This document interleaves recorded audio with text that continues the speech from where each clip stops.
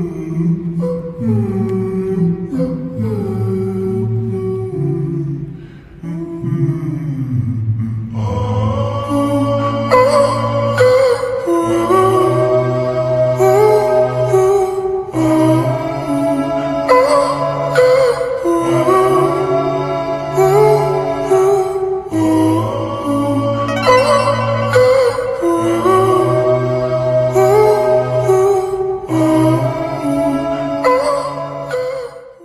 birthday, dear Haley.